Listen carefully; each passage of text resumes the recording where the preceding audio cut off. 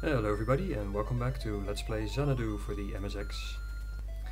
Now in the last part we took on the first tower in level 9, so in this part we'll be taking on the second one.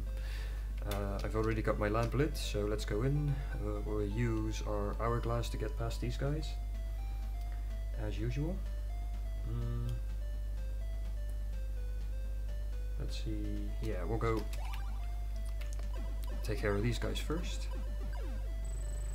Again, I'll leave one of them alive, just so we can easily get to the... Although, actually this is the last room, so I don't really have to leave one alive here.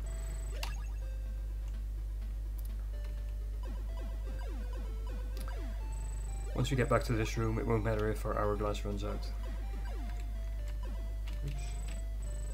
Open the chest first. Um, so yeah, we'll, we'll be going north first. And then to the left whole lot of hourglasses, uh, we don't really need them, so I'm just going to skip them, save ourselves some time. These adepts are going to be... Hold on, let me check.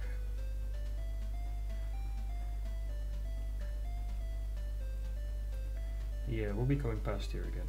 Yep, so I'm going to leave this guy alive for now. Any room from here on that we are coming back to, I will try to leave at least one guy alive.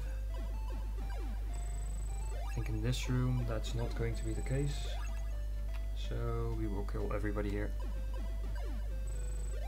Our hourglass, uh, if you noticed before, is already up to 240 um, time. I'm not sure what it translates to exactly, but 240 units of time.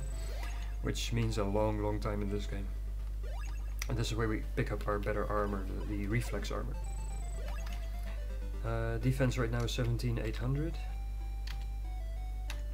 With our reflex armor it is 16,500, so hmm.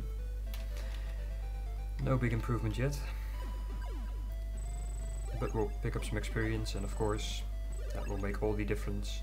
We also pick up a plus 5 small shield, uh, although we've already got a plus 5 large shield in the meantime, so that's kind of useless. Um,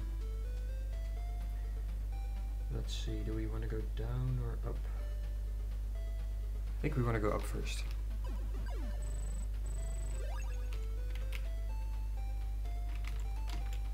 Come on. And even better armor right here, plus 2 ring mail. Which I believe beats kill these guys just so I can see. Yeah, that beats our uh, new reflex armor, so another step up there.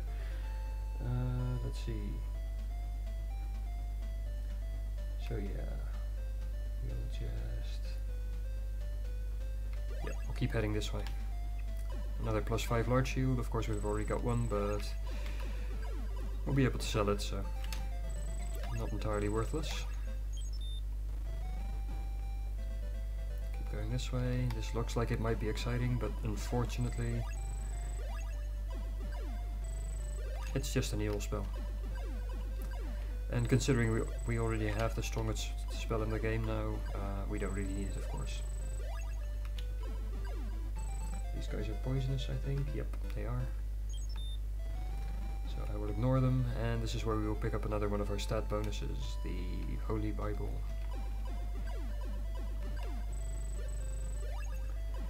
Will be coming past here, so I'm going to leave one of these guys alive again.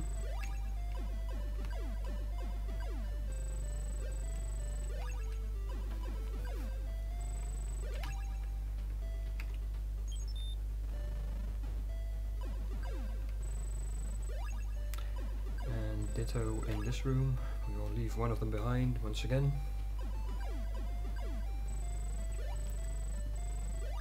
Now whether or not you find it worthwhile to uh, clean out this entire tower, or uh, whether you feel you just want to pick up the um, armor. It's kind of debatable. Uh, the rest of this tower is a little bit. Um, it's mostly keys that we that we'll be finding from here on. Uh, personally, I think it's worth picking up all these keys. Uh, we wasted a bunch getting here, so and they're going to be very expensive now if we want to buy them. So I think it's worth it. Oh, and that's right, there's actually a, a boss fight at the end of this tower, but it's just a Kraken, it's nothing uh, terribly impressive. Uh, it's actually the same one we faced in level 1, so we can just one-hit kill him basically. One thing you do have to keep in mind is that in uh, level 9 and 10 there's a couple of places where you fight uh, some of the older bosses. Um, clearly they don't pose much of a threat at this point, but uh, they will reset all your items. So if you go in there, you ha having used an hourglass for example, I don't know of course how much time was left on it for us this time, but um, as soon as you finish the boss fight, the, the, items are reset, so regardless of how much time we had left, we won't be able to use our hourglass at this point. But as you can see, that's not that big of a problem anymore because of our improved armor. Uh, a lot of these guys aren't going to be able to damage us nearly as much as they did before. Some of them won't be able to damage us at all. So, thanks to our plus 2 ring armor and our plus 5 shield, we'll be able to take a lot of these guys without using uh, any items now. Especially the magic users like these guys, but just in general. Um, that was actually the way back out, but in this case I want to go down into the tower a little bit further, because there's one more item I want to pick up. So yeah, you can see 10,000 damage, I mean, it's not like it's nothing, but it's nowhere near as dangerous as it was before. Volts are kind of the exception, they uh, have low defense, but they are extremely powerful. And they can probably still kill us in a single hit, so I am going to have to uh, get rid of those first. Um, okay. Adepts are kind of, well I wouldn't say weak, you can see they still do a pretty significant amount of damage, but it's magic damage, our magic resistance is decent, so we don't have to be too careful here. It's better not to get hit as much as possible of course, but you know, whatever. I think these guys drop a bottle, so it might be worth a while to uh, kill them, just in case we have to pick up any more uh, uh, any more keys in, uh, in level 10. There we go. And a second Murasame blade. Now we have one already of course, but we will be selling this one for a nice profit. Um, hmm. There is one more place we could go to, but it's just one demon's ring and I believe there's some powerful uh, monsters there, which would require us to use a demon ring to kill it. So I think I'm just gonna skip it. All the effort for just one demon ring is not gonna be worth it. We've got everything we, we really wanted. So now that we are a lot more powerful, um, we can definitely start taking on some of these guys. You know what, I just want to see if I can beat this guy. I am guessing he will probably still be troublesome, but with our new attack strength, maybe we'll be able to kill him. Hopefully it doesn't kill us, but we just saved the game by exiting the tower, so we won't lose too much if we do die here. Uh, let's give it a try. Okay, so yeah, still a pretty powerful attack, but we can easily kill the uh, level 4 Galebdurs now. So yeah, again, um, we are definitely able to take on a lot more creatures now but we still have to be a little bit careful. Probably going to use a red potion here, although I might not have to, because these are magic guys and they're slow. Yeah, we can just kill them like this. Oops, 4000, well. Yeah, clearly not the threat they once were. These guys might be actually. Oh no, it's just a corrosion attack, so we can easily kill these guys as well now.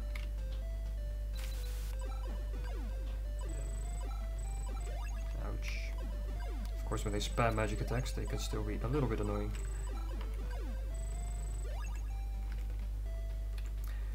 But nowhere near what they once were.